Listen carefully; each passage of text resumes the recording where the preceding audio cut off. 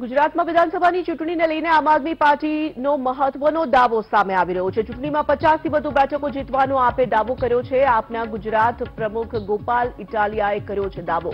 ચૂંટણીને લઈને આમ આદમી પાર્ટીએ પ્રેસ કોન્ફરન્સ યોજી હતી. અત્યારે ચૂંટણી થાય તો પચાસ બેઠકો જીતી શકે છે આપ તેવો ગોપાલ ઇટાલિયાએ દાવો કર્યો.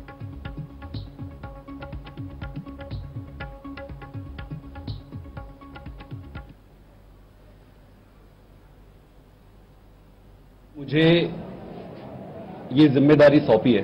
मुझे गुजरात का प्रभारी बनाया गया है। प्रभारी का मतलब अब यहाँ जो चुनाव होने वाली है, उसके संदर्भ में यहाँ के लीडरशिप के साथ मिलकर यहाँ चुनाव की सारी प्रक्रिया का निर्वहन करना है। और उसके बाद मैं आप सबका भी बहुत बहुत धन्यवाद करना चाहता हूँ कि आप सारे यहाँ इतनी भारी संख्या में आए हैं तो आप सबका स्वागत है। और आज से हमारी जर्नी तो बहुत समय से चल रही है, लेकिन अब हम सबका साथ रहेगा और आगे तक मिलकर चलेंगे। मैं बस दो तीन छोटी छोटी चीज़ें ही कहना चाहता हूँ। बाकी तो मेरे लीडर अरविंद केजरीवाल जी अभी आए थे रोड शो करने के लिए तो उन्होंने सारी बातें स्पष्ट कर दी है। मैं बस दो तीन छोटी छोटी चीज़ें ये कहना चाहता हूँ प्रभारी के तौर पे। कि गुजरात एक प्रोग्रेसिव स्टेट है। यहाँ के लोग बहुत प्रोग्रेसिव है। आप हर चीज़ में देख लीजिए एडवांस्ड है।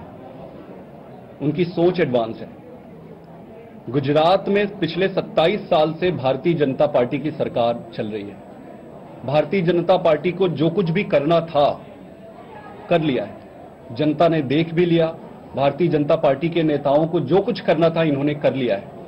अब गुजरात की जनता बदलाव चाहती है। वो बदलाव की तरफ़ देख रही है। और ये स्पष्ट है कि कांग्रेस आज की तारीख में वो बदलाव देने की स्थिति में नहीं है। कांग्रेस पार्टी बीजेपी को गुजरात में नहीं हरा सकती है, ये गुजरात का हर एक नागरिक कह रहा है। और कांग्रेस पार्टी को भी पता है कि वो भारतीय जनता पार्टी को नहीं हरा सकती है। फिर प्रश्न ये उठता है कि बदलाव आएगा कैसे? तो इस बार चूँकि जनता को बदलाव चाहिए और अरविंद केजरीवाल जी ने जो दिल्ली में कर दिखाया है, पंजाब में कर दिखाया है तो जनता की पूरी उम्मीद केजरीवाल जी की तरफ़ टिकी हुई है। आज मैं बस इतना ही कहना चाहता हूँ कि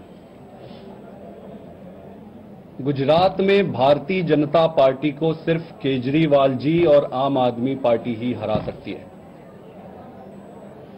लेकिन सवाल किसी पार्टी को हराने का नहीं है। किसी एक पार्टी को हराने का, दूसरी पार्टी को हराने का। हमारा उद्देश्य हराना नहीं है किसी को। हमारा सिर्फ़ उद्देश्य एकमात्र है कि जनता जीते। गुजरात में स्कूल बने, अस्पताल बने, बेरोजगारी दूर हो। और यहाँ पे मिनिमम वेजेस जो है, लोगों को दो दो सौ रुपए दिहाड़ी मिलती है।